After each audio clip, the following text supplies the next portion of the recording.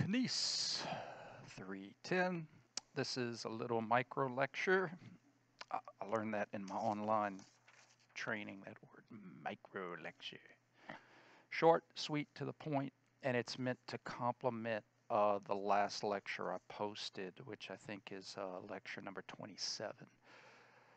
In that lecture, um, I go into that in more detail. I did a video on this. Um, where I go into more detail about how muscle groups influence joint motion through their types of contraction. It's not enough to say that they are working. We have to understand how they are working to really truly understand how muscles influence motion, okay? We do not associate muscles with motion, meaning that we don't see a motion, not emotion like, oh, but we don't observe a particular joint motion and then just assume that it was certain muscles that did it. And the reason is because muscles, because they can only pull, can not only shorten while trying to shorten, but because of eccentric nature, they can be lengthened while trying to shorten. So again, think of it, the, the concept I'm trying to explain here is think about being in a leg extension machine, which I absolutely hate that, that verbiage because you flex half the time, right? In other words, you start off by extending, but then you got to flex, and then you extend, you flex.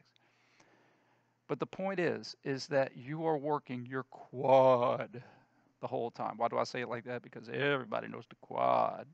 That in biomechanics, I'm going to teach you about the vastus medialis, lateralis, intermedius, and rectus femoris. The point is, is that you know darn well when you're doing that exercise, you're working the same muscles the entire time. You feel that burn on the anterior part of your thigh those same muscles, the quad, those same muscles are both responsible for the extension and the flexion. They're responsible for both. They make the extension happen and then they allow the flexion to happen slower than what gravity could offer. In other words, if you just relax those muscles, the machine would flex you. You don't need muscles to do that. What you do need muscles for is you need your quad to control the speed of the flexion. That's the job, that's the work. The eccentrics being lengthened while trying to shorten controls the speed. And it also slows you down, it puts on the brake. So the elevator cable that I keep bringing up, it makes you go up. Yes, elevator brings you up, but half the time the elevator is bringing you down. And probably more often than not, it's not doing anything at all. It's preventing you from falling down. All three are jobs. By pulling up, making you go up, preventing you from falling down, letting you go down at a chosen speed slower than what gravity can offer. You don't want to do this to the elevator muscles influence motion through their contractions. So that's why this is important for me to teach you the relationship. Now, another thing important is that we communicate muscles in groups based on their direction of pull, how they pull, not the motion that they cause, because again, my bicep can be responsible for flexion and extension. So I can't say, I can, but again, it's silly. I can't say biceps function is flexion because how do I explain isometrics? How do I explain holding it here? There's no flexion, but it's doing a job. How do I explain eccentrics? Whoa, bicep doing a job, but there's extension. Whoa. So we have to think of what did that muscle have in common in all three types of outcomes? Motion wasn't consistent in all three outcomes. In fact, flexion only happened in one of the three outcomes. One. One out of three. 33% of the time, the bicep is responsible for flexion. Other times, there's no motion, and through eccentrics, there's going to be ex extension. So, motion is not married to muscle function. No, no, no. That's three no's. You know I mean business when I say three no's. So, what is consistent? What is consistent? The direction of pull. An elevator pulls up all three instances, making you go up, keeping you from falling down, and letting you go down. Direction of pull. That's the consistency. So my bicep, even though motion isn't consistent, its direction of pull is. It pulls in the direction of elbow flexion at rest, at death, concentrically, isometrically, eccentrically, understandably, direction of pull is the same.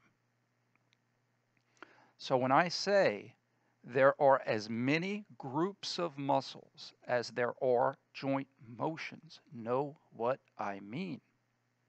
There are muscles that pull in the direction of shoulder flexion. Those are shoulder flexors. Not because they flex the shoulder, but because they pull that way. And sometimes they flex the shoulder. I'm not disrespecting them when they do, but sometimes they allow extension. Sometimes they slow down extension. Sometimes they just hold me up and prevent extension. But they always pull this way. They pull in the direction of flexion. I need to pull up to prevent my arm from falling down. Direction of pull. Okay? It's so important to learn the groups with this concept so that we can start understanding contractions. Muscles pull in directions of motion. Contractions determine how they influence motion. So, what I did is I took it a step further with the diagram. Remember, on the video, I think I did a good job of explaining it. The one negative is that I mirrored the image, thinking my laptop was going to flip it, and it didn't. Happens. So I flipped it, posted it for you to print out or to have on your phone so that when I'm reading the sentences and it looks like German, you can see it in English. But I took it a step further. And I'm going to post this as well, a more detailed version uh, feel free to pause it if you need to. Okay. I feel like uh, elementary school story time. You flip the page. Okay. Kinesio math. Muscle group. Influence joint motions through muscle contractions. This top part is that part. Then I explain how that evolves into my equation that I created to help explain how muscles influence motion through contraction type, through the contractions, how they work. A plus B equals C. A, agonist. Who's working? above resting tone, the agonistic group. Who's doing a job? Who do I call to do a job? If I have a weight in my arm, in my hand, and I'm in this position and I want to maintain my elbow position, I need to recruit the elbow flexors, not just the bicep. No offense to the bicep. But there's other muscles that are helping that bicep. So the easiest way to communicate all of the muscles doing the job is to understand which muscles I need to recruit based on their direction of pull. If I have weight in my hand and I'm in this position, I need to recruit elbow flexors. Why? Because this weight is trying to extend me, and I need agonists to do a job above resting tone to keep the elevator from falling down. It's that simple identify the agonist. And you identify, I'm repeat again, this is a micro lecture, I'm just repeating what I said in previous lecture. You identify who is working by understanding why they need to work. External forces are trying to influence your motion.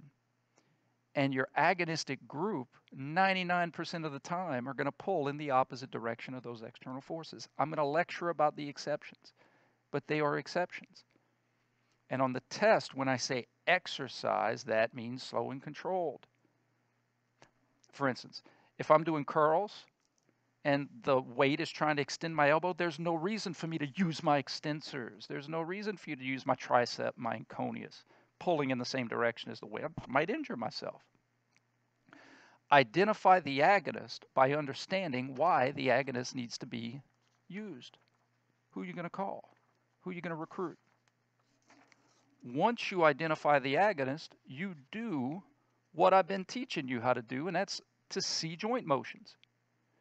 If there's no motion, life is really great. And if there is motion, that's what these explain. This, this is the language of muscle mechanics. This is the secret to muscle mechanics, guys. This is it. There's no exceptions. This is this is Newton stuff. This is an is. This is must. This is how it has to work. If I need my elbow flexors, like in this example, right, for the curl, if I have weight in my hand. If my elbow flexors need to be used for a job and I observe no motion, it must be through isometric contraction. That's how those muscles are doing that job. If I know my elbow flexors are working, heck, when I have that weight in my hand, I could feel my elbow flexors pumping up, right? They're doing a job. If my elbow flexors are doing a job, pulling in the direction of elbow flexion above resting tone, and I observe elbow flexion, if I observe elbow flexion, the only way this can happen is through concentric contraction. Shortening while trying to shorten above resting tone. Doing the job that you're trying to do. Moving the joint in the direction of your pull winning. This is the harder one. To understand that the elbow flexors can still be on doing a job, pulling in the direction of elbow flexion in the opposite direction of an external force trying to make my elbow extend. But if I observe elbow extension, now this could be speeding up the extension, constant speed of the extension, or slowing down the extension, putting the brake on the extension. It's all extension. If you're driving your car or truck and you slam on the brake and you slow down, you're still moving forward. If I'm doing curls and I put on the brake and I slow down extension, I'm still extending.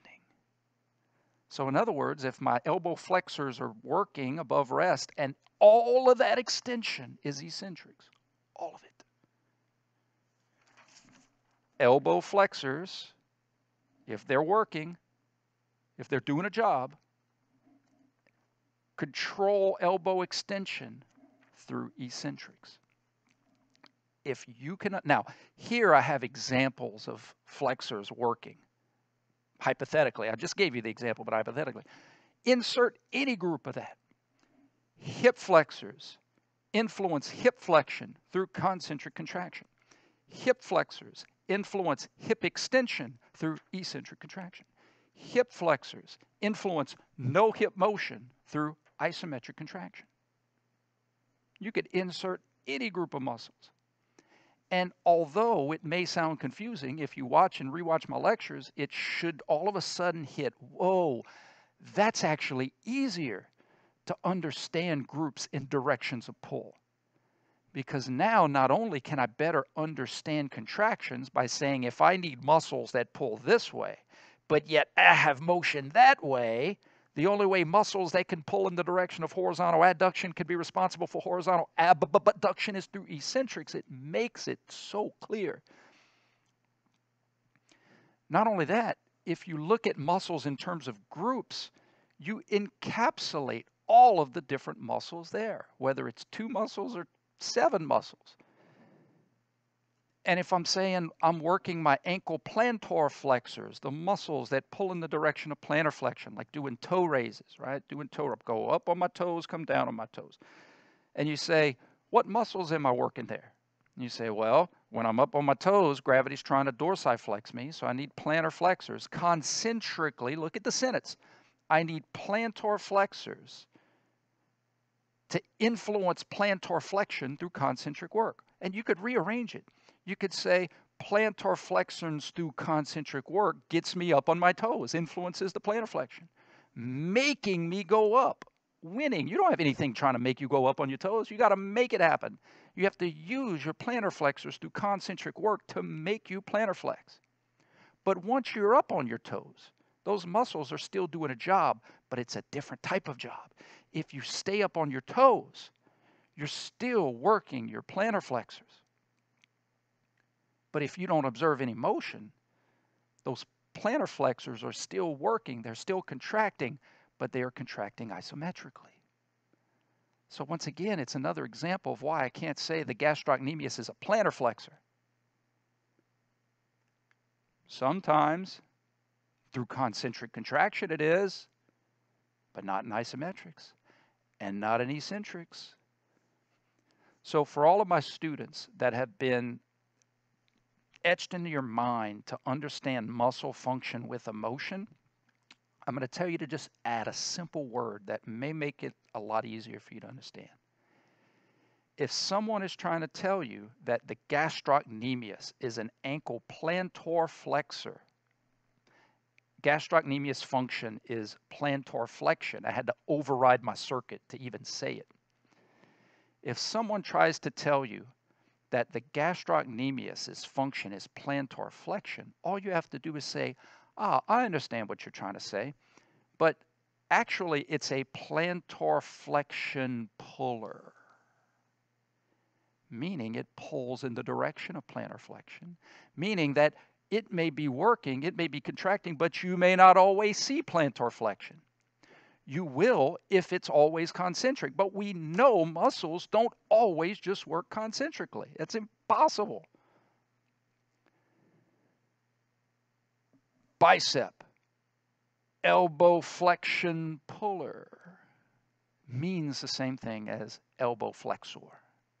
So if that might be a better way for us to be able to see eye to eye on these concepts, okay?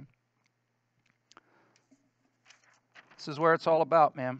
I got so many former students that when they go off to, to, to grad school in therapy, uh, chiropractic, uh, prosthetics, orthotics, PT, OT, PA, understanding muscle function is right here.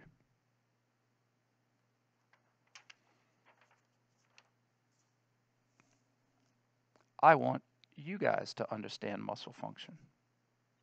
So if you have any questions or need extra help, let me know. You'll be well.